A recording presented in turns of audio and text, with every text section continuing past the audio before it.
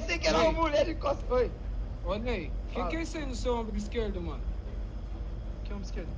Ai, caralho! Filho da puta!